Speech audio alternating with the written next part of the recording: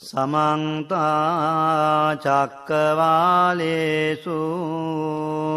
අත්‍රාගච්ඡන්තු දේවතා සද්ධම්මං මුනිරාජස්ස සුනන්තු සග්ග මොක්කදං ධම්මත්සවන කාලු අයං බදන්තා ධම්මස්සවන කාලු අයං බදන්තා ධම්මස්සවන කාලෝ අයං බදන්තා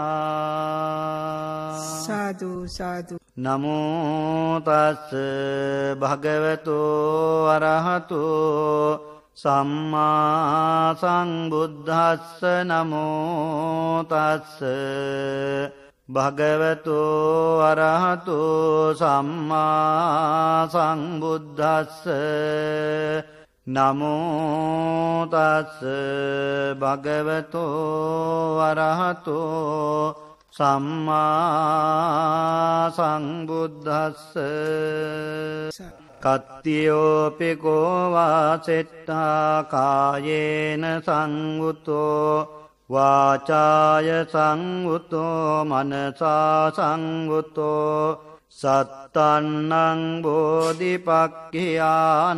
ධම්මානං භාවන මන්වාය දිත්තේව ධම්මේ පරිනිබ්බාතිති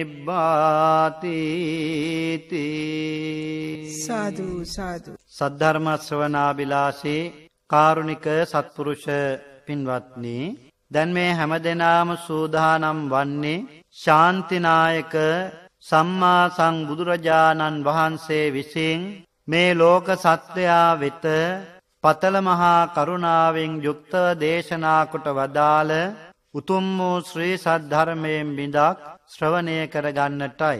ලොවතුරා බුදුරජාණන් වහන්සේ දේශනාකොට වදාළ උතුම් වූ ශ්‍රී සද්ධර්මය අප සියලු දෙනාගේම දෙලව සැනසිල්ල පිණිස සහනය පිණිස පවතිනව වගේම බෞද්ධයන්ගේ පරමනිෂ්ඨාව වන උතුම් වූ නිර්වාණාබෝධය සඳහා පවතින තුන් ශ්‍රේෂ්ඨ ධර්මයක්.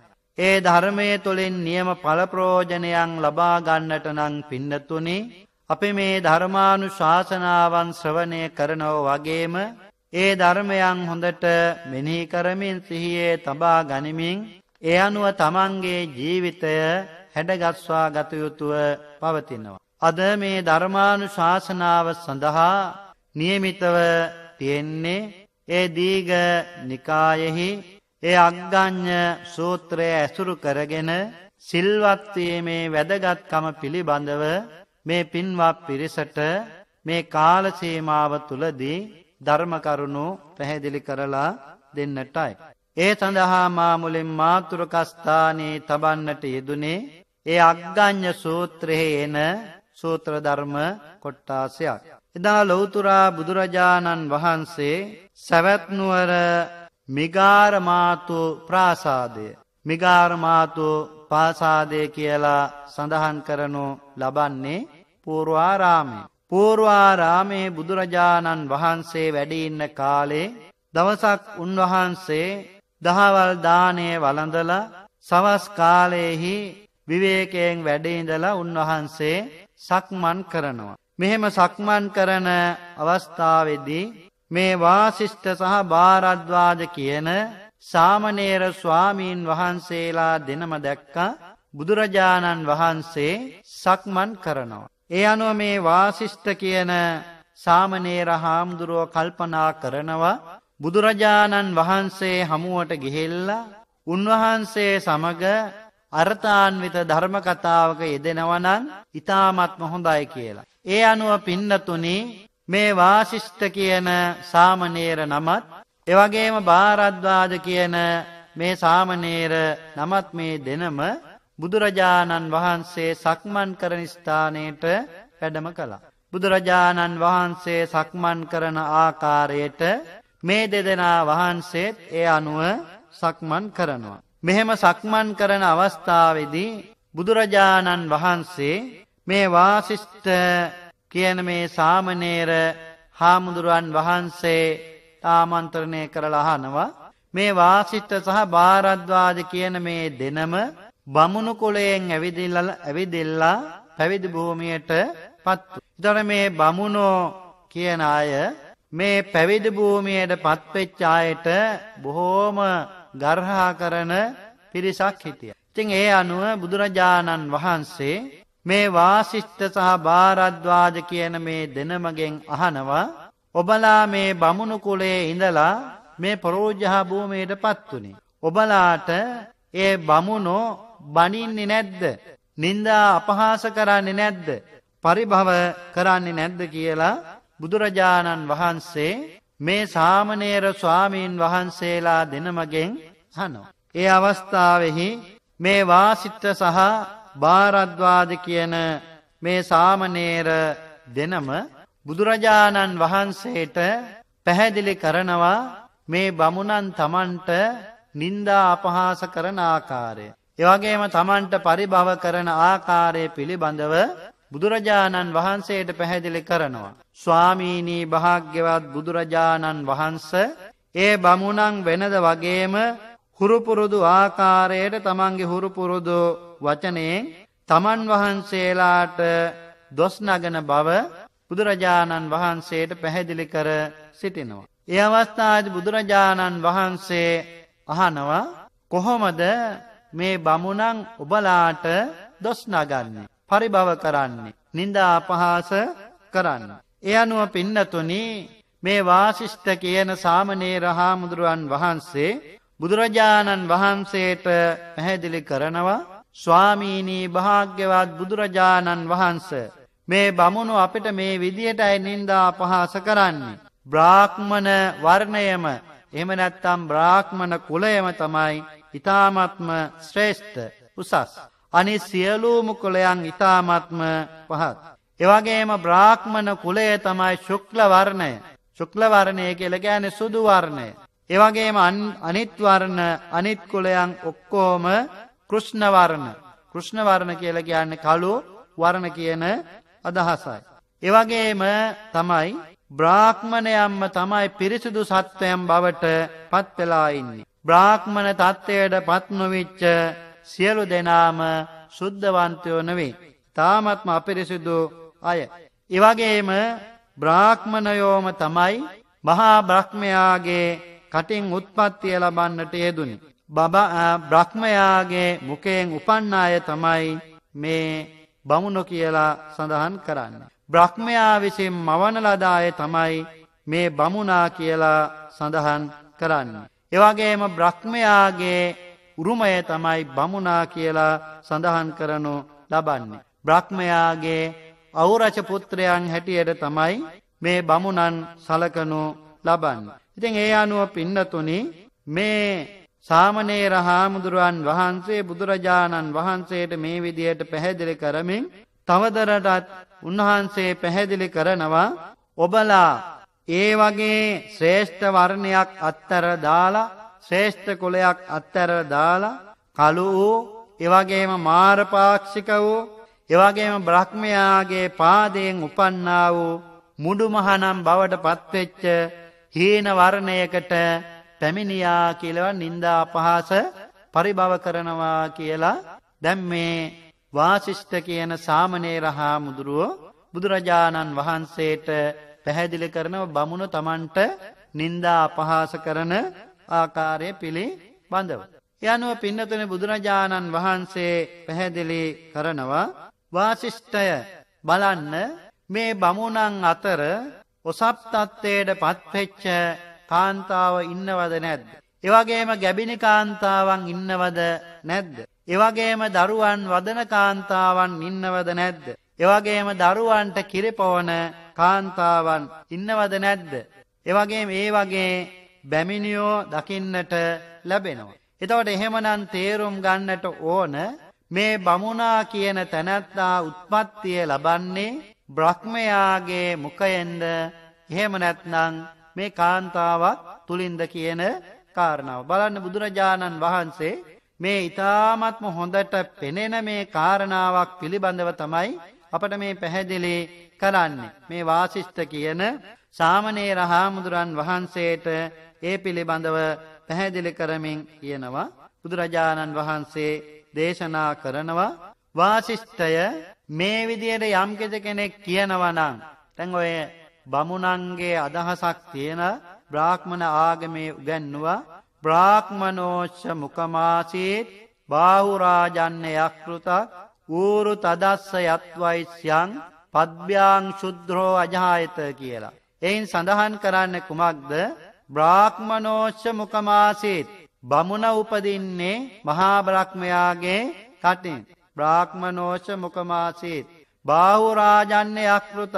එවගේම තමයි ශක්ත්‍රීය වංචක උත්පත්තිය ලබන්නේ මහාබ්‍රක්්මයාගේ බාහුවෙන්.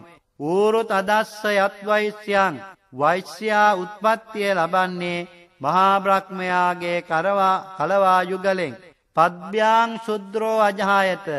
එවගේම ශුද්‍ර වර්ණයට අයිති අය උත්පත්තිය ලබන්නේ පහත්මය උත්පත්තිය ලබන්නේ මහාබ්‍රක්්මයාගේ පාදයෙන් කියල මේ වගේ ඉගැන්වීමක් තමයි සිද්ධ කරලතෝ. එතවට බුදුරජාණන් වහන්සේ මේ වාසිෂ්ඨ කියන සාමනේර හාමුදුරන් වහන්සේට පැහැදිලි කරනවා යම්කෙස කෙනෙක් කියනවනන් මේ බමුණ උත්පත්තිය ලබල තියෙන්නේ මහාබ්‍රක්්මයාගේ මුකයෙන් කියලා ඒක මහාබ්‍රක්්මයාට කරන මහා නින්දාවක් මහා අවමානයක් කියලා බුදුරජාණන් වහන්සේ පැහැදිලි කරනවා. ඒවගේ මේ අය කියන්නේ මහා මුසාවාදයක් මහා බොරුවක්.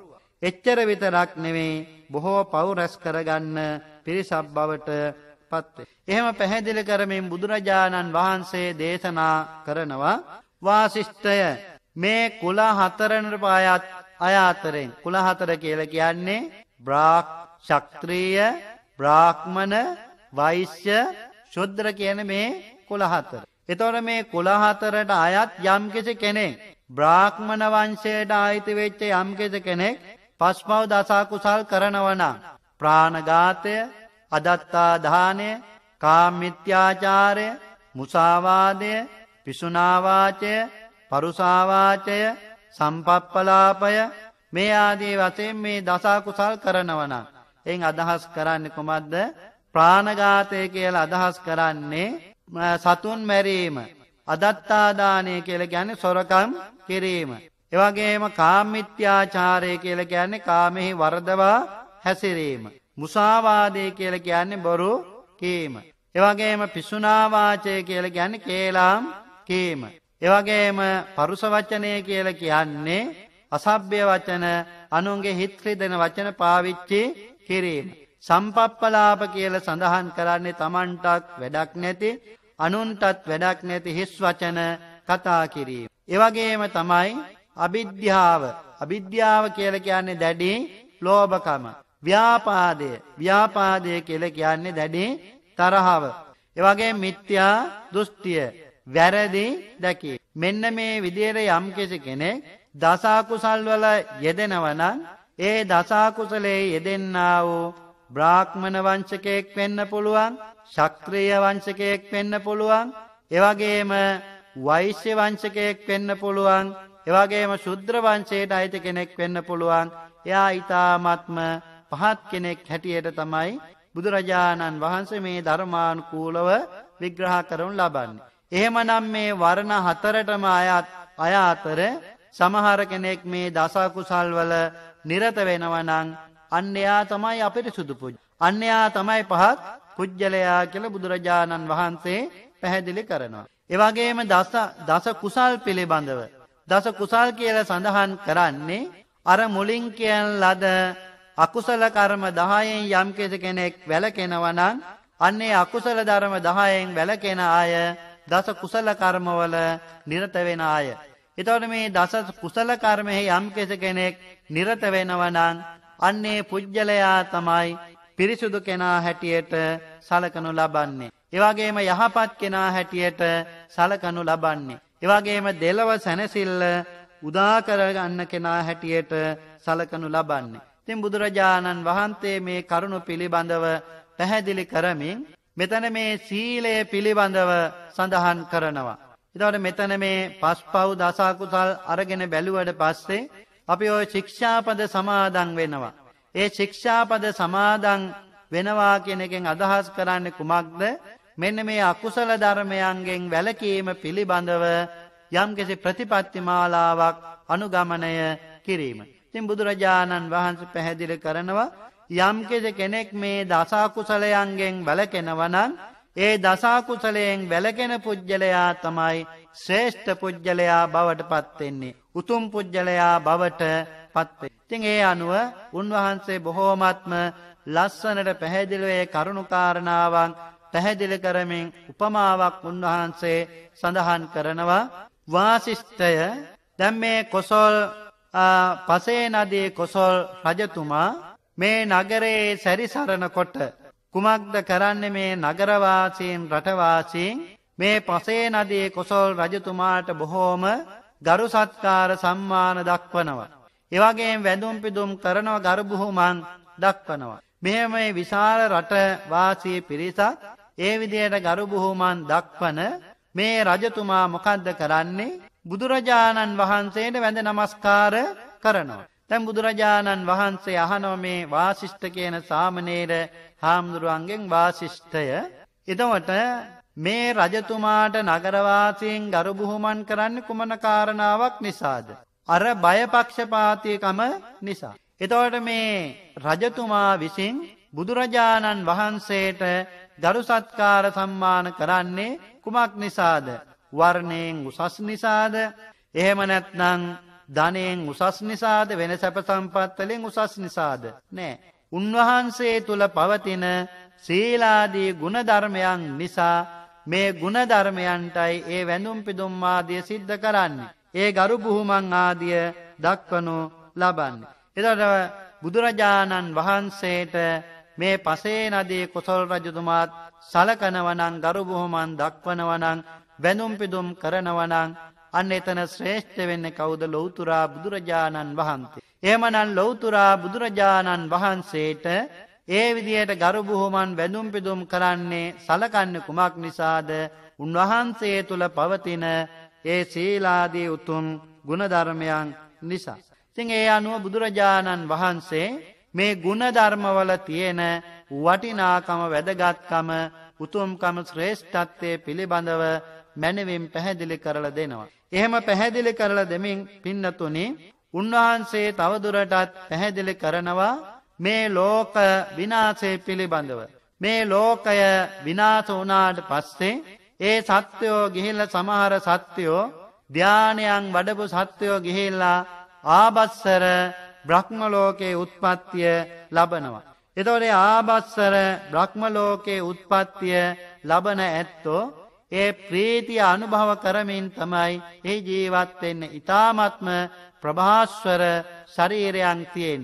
එතොට මේ ප්‍රභාස්වර ශරීරයන් තියෙන මේ ආබස්සර දිවියලෝකයේ ඉන්න අය දසේ නැවතත් ඉන්නතුනි ඒ ආබස්සර බ්‍රහ්මලෝකයෙන් චුත වෙලා මේ මනුෂ්‍ය ලෝකයෙහි උත්පත්තිය ලබනවා. ද මනුෂ්‍ය ලෝකයේ උත්පත්තිය ලැබුවට පස්සේ මේ ලෝකය හට ගැනීම පිළිබඳව උන්වහන්සේ කරුණුකාරණාවන් ඉතාමත්ම ලස්සනට අපට පැහැදිලි කරලා දෙනවා. එතවට මේ ලෝකයේ විනාසවීමෙන් අනතුරුව නැවත ලෝකය හටගන්නවා මේ ලෝකය හටගත්තට පස්ස නැවතත් මුලින්ම මේ රස පෘථිවි ධාතුවක් පහළ වෙනවා. රස පෘථිවි ධාතුව කියලා සඳහන් කරනු ලබන්නේ පින්නතුනි හරියට මේ මුළු මහ පොළොවම ගිතෙල් වගේ. එනිසා මේ මනුෂ්‍යයාට මේ පොළොව අනුභව කරන්නට පුළුවන්කම තියෙනවා. එනිසා රස පෘථිවි ධාතුව කියලා සඳහන් කරනු ලබනවා. එතවට මේ රස පෘථිවි ධාතුව එක්තරා මනුස්සයෙක් අර උත්පත්තිය ලබල ඉන්න මනුස්සයෙක් ඇඟිල්ලෙන් අර පොළොවට ඇඟිල්ල ගහල ඇඟිල්ල දෙවකන්නවා. ඊඩාස මේ රසයට ගිජු වෙනවා. ඉතින් නැවත නැවතත් මොකද කරන්නේ මේ රසයට ගිජුවීම නිසා හෝරසයි කියලිවර වෙලා මේ විදිහට මේ අය කතාබහ කරනව සාකච්ඡා කරනවා. ඉදාස මේ රස තෘෂ්ණාව කියන එක ඇති වෙනවා. ඒ අනුව පින්නතුනේ ක්‍රමාණු කෝලෝ මේ කෙලෙස් ධර්මයන් හටගන්න හටගන්න දැන් මේ කාලේ වෙනකොට මේ ලෝක ධාතුව තුළ චන්ද්‍රසූරයා කියන මේ දෙදෙනා ඇත්තේ නෑ.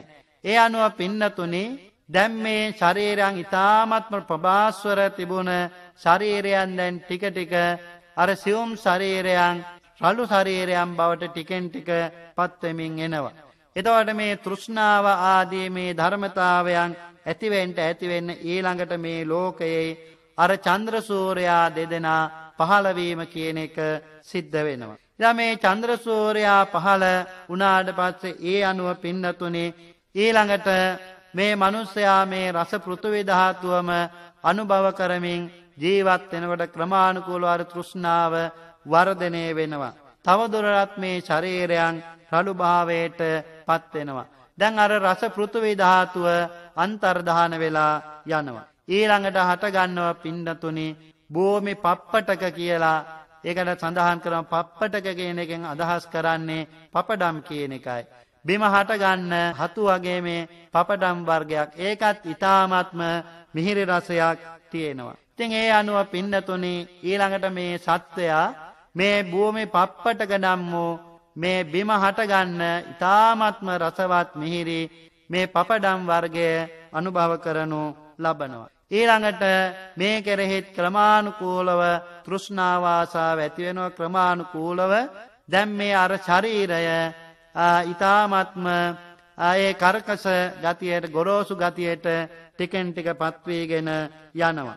ඒ අනුව පින්නතුනේ මේ භූමි පප්පටකයත් අතුරුදහන් වෙලා යනවා ඊළඟට පහර වෙනවා බදාලතා කියල ජාතියක්. ඒ අනුව මේ සත්‍යෝ මේ බදාලතා කියන මේ වර්ගය පාවිච්චි කරනව අනුභව කරනු ලබනවා. ඉඩාස ටික කාලයක් යනකොට මේ කෙරෙහි තෘෂ්ණාවාසාව ඇතිකර ගනිමින් මේ අනුභව කරමින් ජීවත්වෙනවා මේකත් අතුරුදහන් වෙලා යනවා. ඊළඟට පින්නතුනෙ ක්‍රමාණුකූලව අකට්ටපාක සාරි කියලා හැල්වී වර්ගයක් හටගන්නවා. ඉඩාත මේ හැල්වී වර්ගය කොහොමද සිද්ධ වෙන්නේ උදෑසන කාලය යම්තැනක හටගන්නවනං ඒවා අරගෙන ඇවිදිල්ලිවර වෙලාර මනුස්්‍යයෝ අනුභව කරනවා. නැවතත් හවස්වරුව යනකොට එතන නැවතත් අඩුවක් නැතුව සකස් වෙලා තියෙනවා. ඒ හැල්වී වර්ගය ගෙනහැල්ලා එහෙමම අනුභව කරන්නට පුළුවන්කම තියෙනවා. ඊළඟට පින්නතුනි ක්‍රමාණුකූලෝ කුමක්ද සිද්ධ වෙන්නේ මේ අය මේ දැන් දිනපතාම උදේට යනවා හවසට යනවා උදේ ගිහිල්ල හවසට යනකොට නැවතත් අර හැල්වී වර්ගය අඩුවක් නැතුව තියෙනවා. දැම් මනුස්සේ කල්පනා කරනව දෙතුන් වෙලාවක් යන එක මේක කරදරයක් එනිසා දෙතුන් සැරක දවසකට දෙහකට සෑහින් අරගෙන යනවා. එහෙම අරගෙන ගියාට පස්ස පින්නතුනි ක්‍රමාණුකූලව අන්න අර අඩුවෙන තැන් නැවත පිරෙන්නේ නෑ. ක්‍රමාණුකූලයවා පරිහානියට පත්වේ. ඊළඟට පින්නතුනි මේ කාලේ වෙනකොටත් මේ සත්‍යයන් තුළ ස්ත්‍රී පුරුෂ කියල බේදයක් පවතින්නේ නෑ. ඉලාට ක්‍රමාණුකූලෝ පින්නතුනේ මේ ස්ත්‍රී පුරුෂ බේදය පහළ වෙනවා ලිංග පහළ වෙනවා.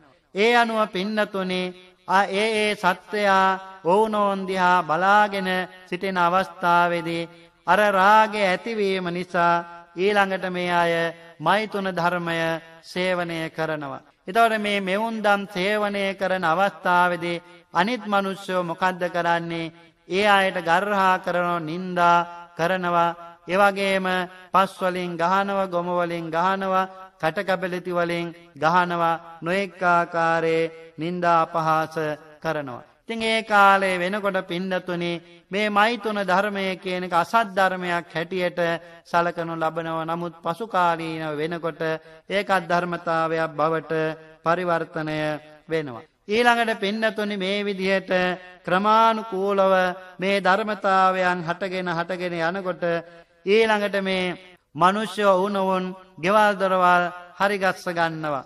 ගෙවල්දොරවල් හරිගස්සගෙන ඒ රැකේ රක්ෂාදිය කරන්න පටන් ගන්නව ගොවිතන් ආදිය සිද්ධ කරන්න පටන් ගන්නවා.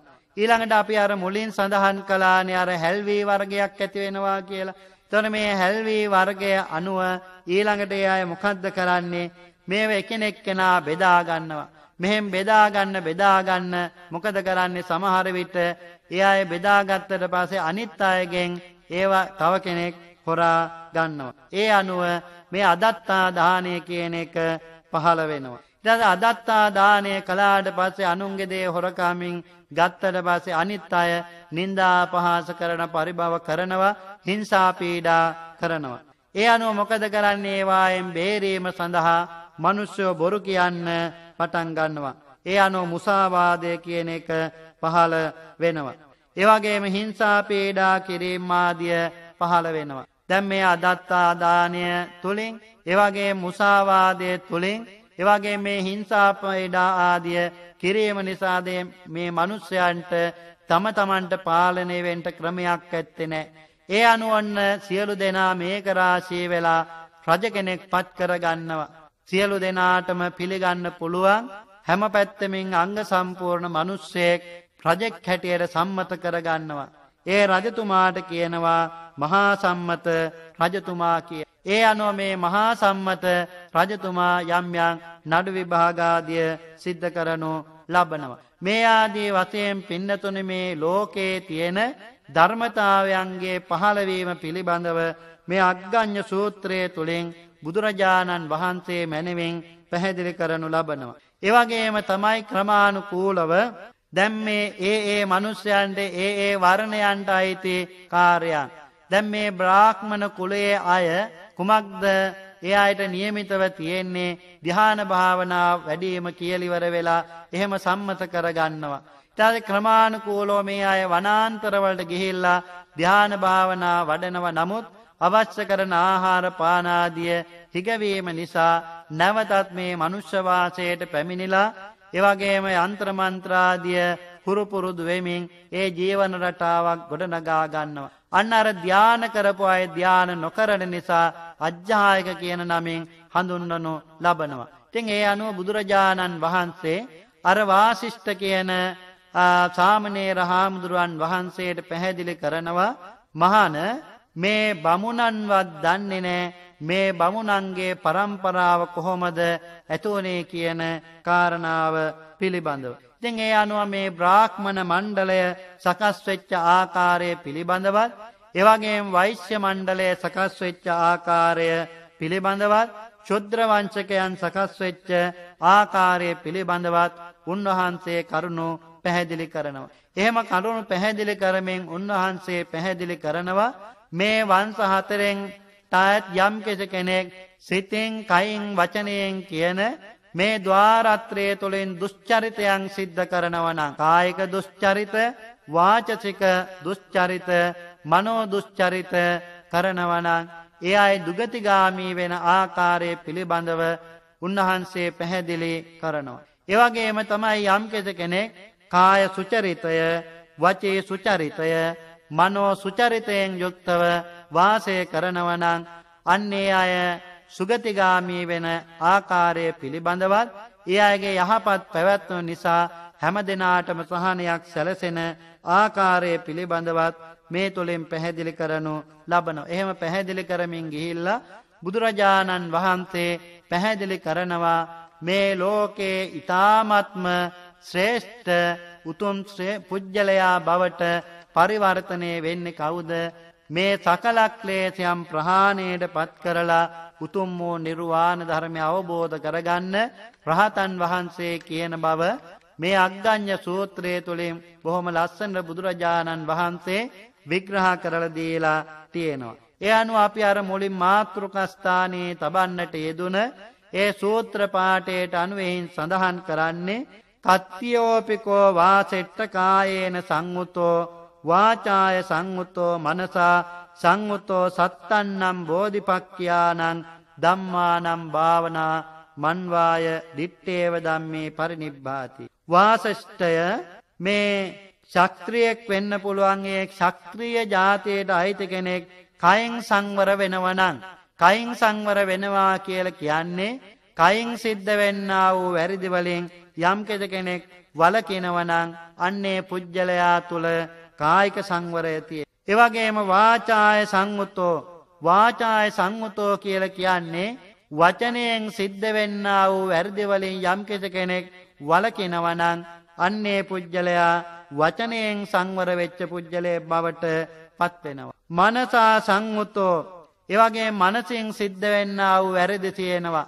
මනසින් සිද්ධ වෙන්න වූ වැරදිවලින් යම් කිසි කෙනෙක් වලකිනවනං අන්නේ පුජ්‍යලයා මනසින් සංවර වෙච්ච පුජ්‍යලේ බවට පත් යම් කෙනෙක් කයින් වචනයෙන් සිතෙන් කියන මේ ద్వාරත්‍රයේ තුලින් සිද්ධ වෙන්නා වූ අකුසල ධර්මයන්ගෙන් ඈත් වෙනවා නම් දුර වෙනවා නම් එයා ත්‍රිවිධ ద్వාරය සංවර කරගත්ත කෙනෙක් බවට පත් වෙනවා. එතකොට මේ ත්‍රිවිධ ద్వාරය සංවර කරගෙන එතනින් මේ පුජ්‍යලයා නවතින්නේ නැහැ. මේ ධර්මානුකූල බුදුරජාණන් වහන්සේ පැහැදිලි කරනවා සත්තන්නම් බෝධිපක්ඛයානං ධම්මානං භාවන මන්වාය මේ කොටස් හතකට අයත් වූ සත්‍යස් බෝධිපාක්ෂික ධර්මයන් වඩනවා.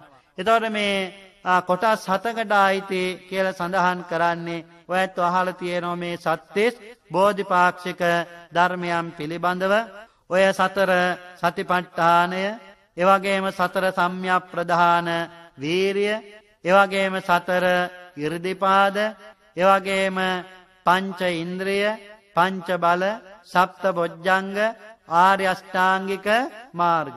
මෙන්න මේ විදිහට යම් කෙනෙක් මේ සත්‍තිස් බෝධිපාක්ෂික ධර්ම වඩනවනම්.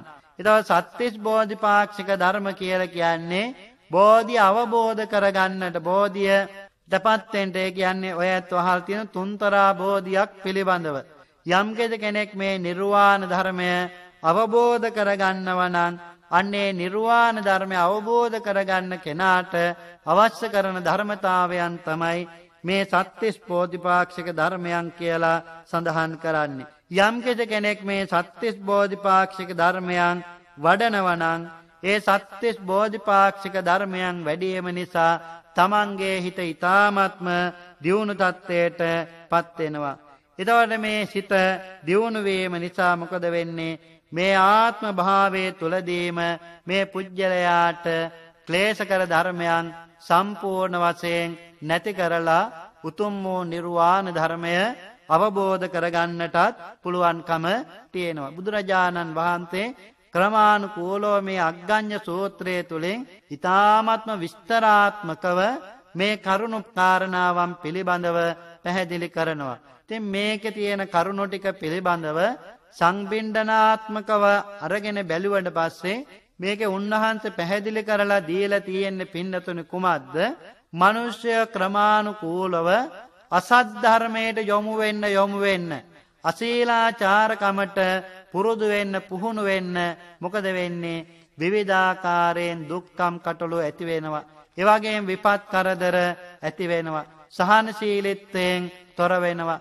එවගේම විශාල පිරිසකට අයහපතක් බවට පරිවර්තනය වෙනවා. ඉතින් ඒ අනුව පින්නතුනි මේ අග්ගඤ්ඤ සූත්‍රය තුළින් බුදුරජාණන් වහන්සේ ඊ타ත්ම වටිනා වැදගත් උතුම් ධර්ම කරුණු රාශියක්ම දීර්ඝ වශයෙන් විස්තර කරලා දීලා තියෙනවා. අපි මෙතනින් තේරුම් ගන්නට අවශ්‍ය කරන්නේ බලන්න මුලින්ම මේ මිනිස්යන්ගේ මේ సంతානය පිළිබඳව මුලින්ම ඒ සත්වයන් තුළ ඒ සත්ව సంతානය තුළ ඒ ක්ලේශ කර ධර්මයන් ක්‍රමානුකූලව හටගන්න ආකාරය පිළිබඳව උන්වහන්සේ පැහැදිලි කරනු ලබනවා. එතකොට යම් කෙනෙක් ක්‍රමානුකූලව අසත් ධර්මයට පුරුදු වෙන්න පුරුදු වෙන්න ඒවා පුහුණු වෙන්න පුහුණු වෙන්න මොකද වෙන්නේ? ඒ අසත් ධර්මය නිසා Tamanට විතරක් නෙමෙයි විශාල පිරිසකට අයහපතක් සිද්ධ වෙනවා.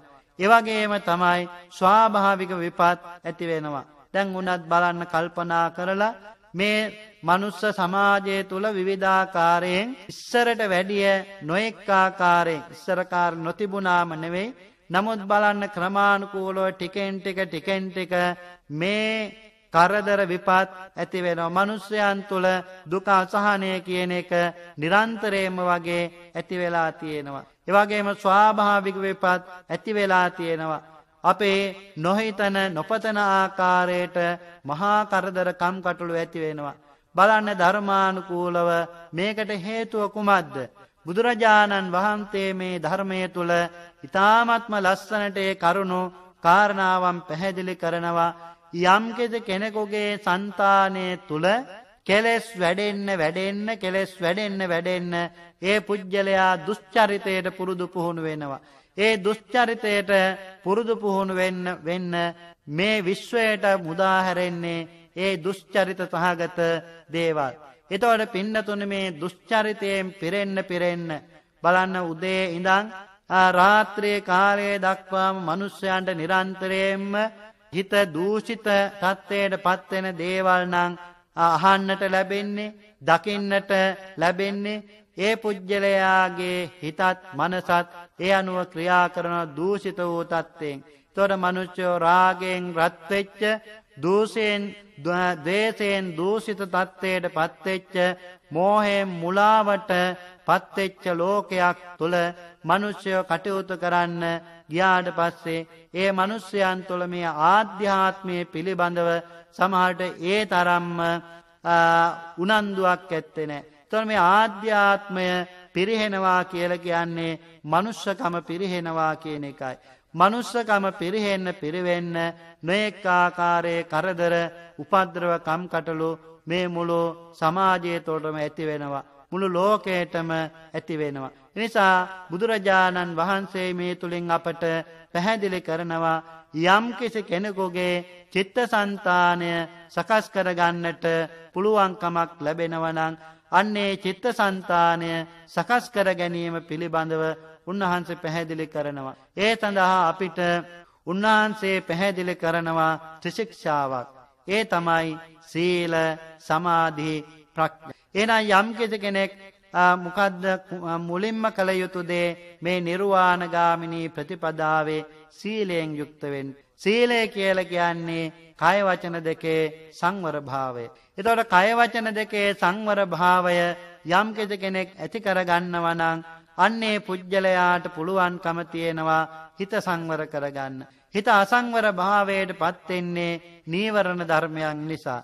නීවරණ ධර්මයන් කියල සඳහන් කරන්නේ කාමච්චන්ද ව්‍යාපාද තේනමිද්ද උද්දච්ච කොක්කොච්ච විචකිච්චා කියන මේ නීවරණ ධර්මයක්. එතවට මෙන්න මේ පංච නීවරණ ධර්මයන් යටපත්වෙන්නේ සමාධිය තුළින් යම් කෙස කෙනෙක් යම්ගෙසි භාවනාරම්මණයක් ඒක ඇන කුසලා රම්මණයක් අරගෙන නැවත නැවත නැවත නැවතත් ඒ කුසලා රම්මණය මෙනිහි කරනවන ඒ කුසලා රම්මණයට හිත නැඹුරුවෙන්ට නැඹුරුවෙන්ට අන්න අර පංච නීවරණ ධර්මයන් ඈත්වෙලා යනවා. පංච නීවරණ ධර්මයන් ඈත්තුනෝතයෙන් තමයි හිතේ ඉතාමත්ම ප්‍රසන්න භාවයක් ඇතිවෙන්නේ සංසිඳීමක් ඇතිවෙන්නේ ඒකාග්‍රතාවයක් ඇතිවේ. සංසුම් මනසක්ති වනොතින් තමයි සියල්ලක්ම නිවරදිව ඇත්ත ඇති හැටියෙන් අවබෝධ කරගන්නට පුළුවන්කම තියෙන්නේ. එහෙමනං ඊළඟ ශික්ෂාව හැටියට බුදුරජාණන් වහන්සේ පැහැදිලි කරන්න කුමක්ද ප්‍රඥා ශික්ෂාව. ප්‍රඥාවෙන් කරන්න කුමක්ද මේ සංසුම් වූ මනසකින් යොත්තව මේ නාමරූප ධර්මයන්ගේ ඇත්ත ඇති හැටියෙන් අවබෝධ කර ගැනීම. නාමරූප ධර්මයන් කියල සඳහන් කරනු ලබන්න කුමක්ද මේ රූපවේදනා සංඥා සංකාර විඤ්ඥාන කියන මේ ස්කන්ද පංචකය.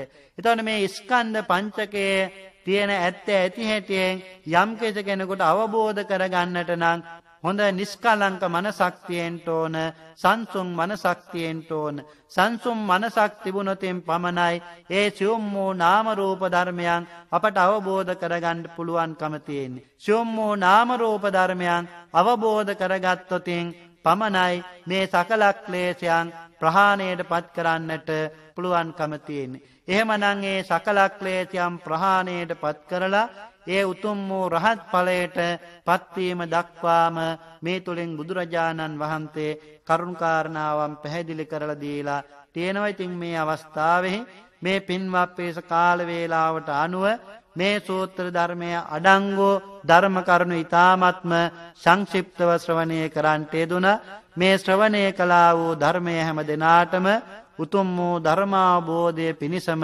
පවතීවායි සාධූ කියල ප්‍රාර්ථනා කරගන්න.